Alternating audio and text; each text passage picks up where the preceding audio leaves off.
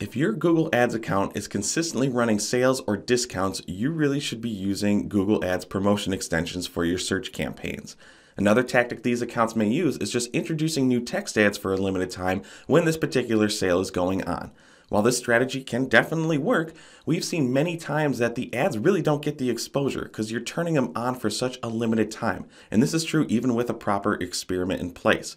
So promotion extensions can really help spread the awareness of this particular sale, and it's fairly easy to do.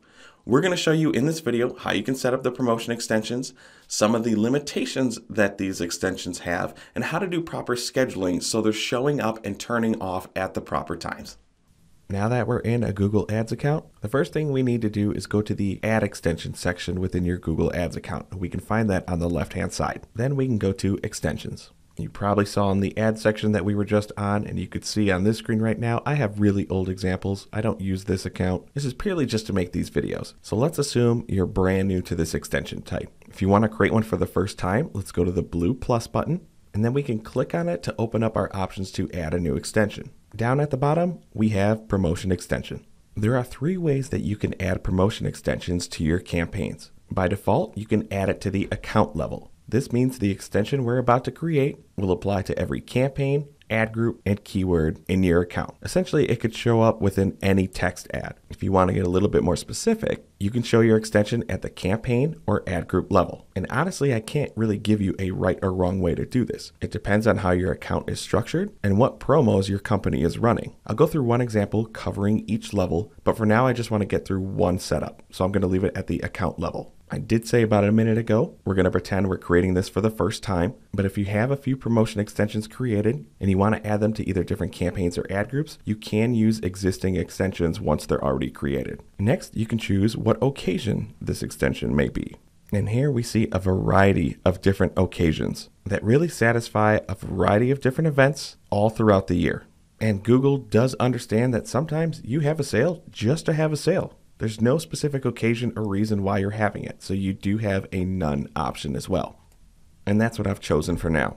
Now I'm recording this video in July. If I try to be funny and launch a Black Friday occasion extension in July, it will not show. This is because the Black Friday occasion will only be available from October 15th through December 15th. In a majority of these occasions, there are specific start dates and end dates where certain occasions can show. And you can see on your screen right now, I have a link where you can see all the occasions and the available start dates and end dates. But to make things universal, I want to leave it as none. Next, you'll need to choose the language and the currency that will apply to your extension. So if I go to language, you'll be able to see there are a variety of options for you to use. Just make sure that the language you select also matches the destination pages that you can use for this extension. If you don't do that, your extension could get rejected and we'll talk more about that at the very end of this video. Then we can go on to currency. Pretty straightforward. We can only choose the options that are available and there are quite a few. And just like the language setting, you have to make sure the currency that's represented for your products within this extension also match the currency on the destination URLs. Next, you get to choose your promo type.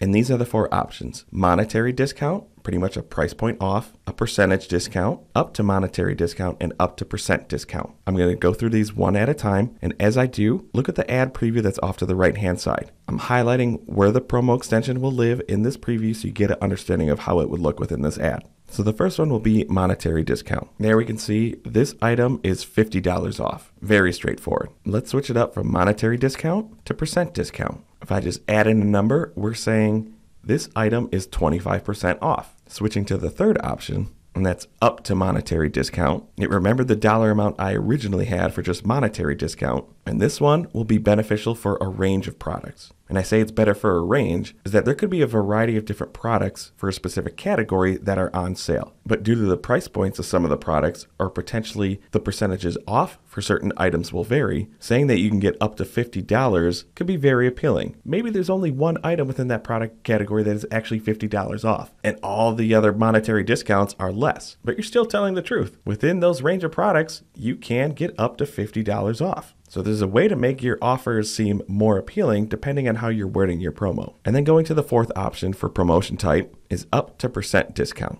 It's the same mentality of what we did with the up to monetary discount. So already, hopefully that gives you an idea of things to test. Does your audience react or engage more with a dollar amount off or a percentage off? Well, you can create multiple different extensions and see which ones will work the best. But once you've solidified your promotion type, then you have 20 characters to enter in the item that applies to this particular promotion. In this case, I'm saying up to 25% off all cookware. Pretty straightforward. And then we need to enter the final URL.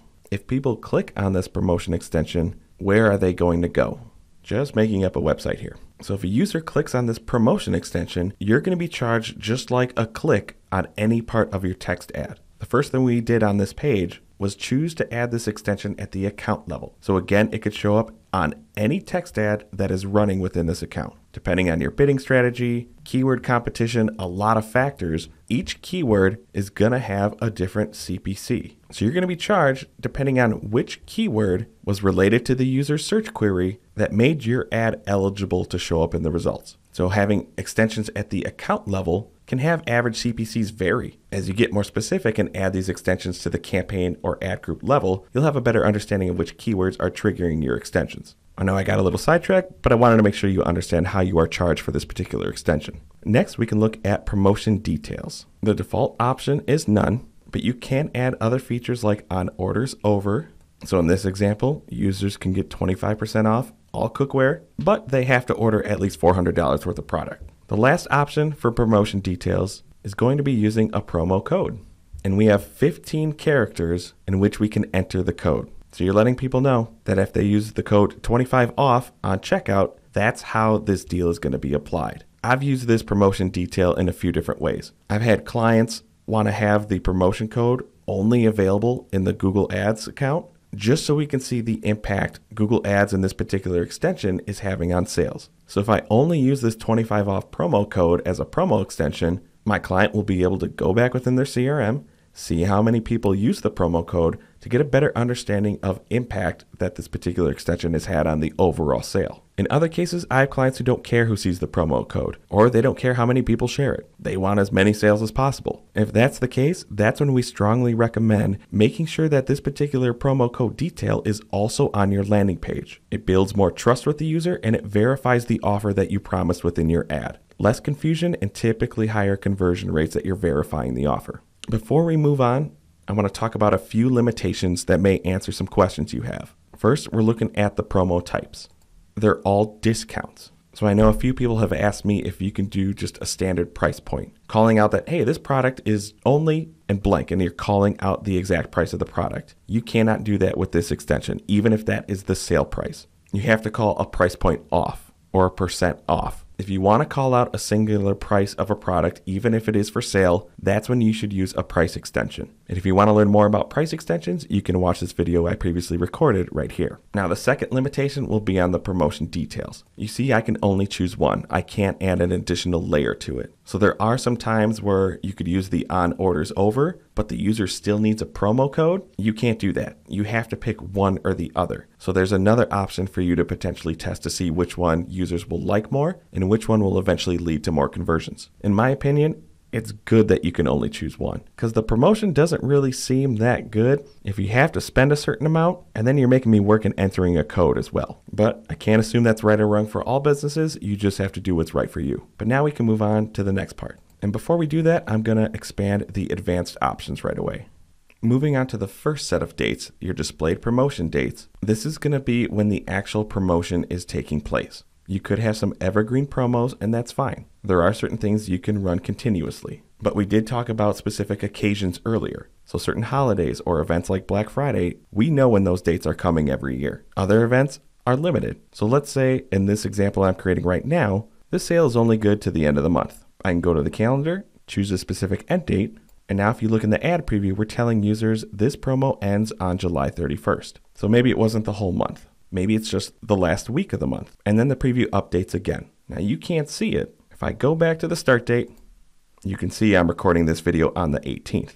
If I launch this extension right now, it will start showing. And since I created it the week before the valid promotion dates, people who click on that ad won't be able to use this offer. But it could be a good extension to build awareness for a particular upcoming sale or promotion. If you don't want your extension to show up before the sale is actually going on, that is why I clicked on the advanced options section because there is another set of dates below. This is when this extension will actually show up. So I can choose to change the dates to match the actual dates of the promotion. And if I want to get even more specific, we can update the ad schedule. Very similar to how we can already do ad scheduling within Google Ads. And we do have another video on that one right here. So to repeat, your displayed promo dates are going to be the dates of the actual sale or promotion. Under the advanced options, the second date setting is going to be when it will actually appear within the ad. If you're happy with how your extension looks, you can go back down and save it. And if we scroll back down in the main extension section, there we see we now have promotions. As I promised earlier in the video, I want to show you a few examples of how you may use promotion extensions at different levels within the account.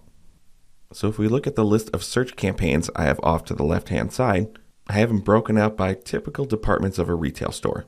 So at the account level, I've set up a promo extension saying up to 50% off select items store wide. And that one would be perfect for the account level because it can cover all of the campaigns. Now, even though there are select items up to 50% off, maybe everything in the men's department is just 20% off. So I can create and attach this extension just at the campaign level. So no matter which ad group a user is seeing my ad, they're going to see the same promo extension. Whether they're looking for jeans, 20% off, pants, 20% off, shirts, 20% off, suits, 20% off, underwear, 20% off. If someone sees an ad from any keyword under my men's campaign, they will not see the 50% off select item store wide promo extension. Any deeper level extension will override the higher level extension. And the same thing can be said about the ad group level. If we add this particular one to the men's suits ad group, up to $100 off select men's suits, anyone seeing an ad belonging to this particular ad group won't see the campaign level extension and they also won't see the account level extension.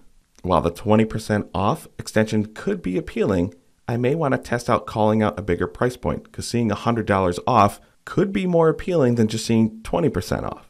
If you want to test those out, you will have to recreate this 20% off message at the ad group level so they can both test against each other just in the men's suits ad group. So even though this is one example, hopefully you can see how you can tier your promo extensions depending on the structure of your account. And as I said earlier, it's really going to depend on how your account is structured, but most importantly, the sales or discounts you are offering at the time. Most likely, you're not going to have a promo extension at the campaign and ad group levels for every single level within your account. It's just good to know that you have the ability to get as specific to the ad group level and call out very specific promos when the time is right. And to wrap this video up, I wanted to go over five reasons why your promo extensions may get disapproved. And most of these reasons are going to be pretty familiar if you've been running search campaigns for a long time. The first reason is if you're violating any editorial policies. You have some obvious misspellings, you're adding unnecessary symbols to your extension, or potentially excessive use of capitalization. Another common reason is the use of trademarks within your extension. Now, odds are if you're an e commerce company running promos or sales for specific brands, you should be pretty good, unless the trademark owner complains. Just like you're not supposed to use any trademarks within your text ads, you cannot use them in your promo extensions unless you have the proper permission. Next is an unavailable offer. The dollar amount off or the percentage off that you are putting within your promo extension must match the offer that is found on the destination URL. Besides the actual promo piece, whatever you claim in your headers and descriptions must match what is available on the destination URL as well. Google finds any mismatch, your promo extension could be disapproved.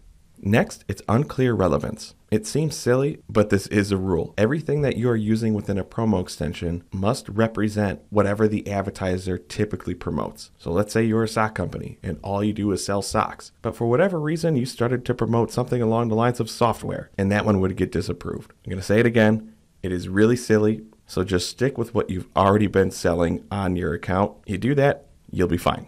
And the last reason is using an unavailable language. You have to make sure that you're targeting a country that is supported in the language policy, and then you need to make sure that the language on your landing page matches the language that you are targeting. And that's pretty much it for promo extensions. Clearly, not every Google Ads account out there will have a need for this extension, but if you do offer promos, discounts, or sales with a percent off or a dollar amount off, they can be a great way for your ad to stand out versus the competition. So test them out at the appropriate level that makes sense the account, the campaign, or the ad group and see which levels perform best for you. And if you have any success stories you want to share about promo extensions, let everyone know in the comments below. Thanks for watching our video. If you found it useful, give us a thumbs up below. We release a new video at least once a week, so if you want to see more from the Paid Media Pros channel, be sure to subscribe.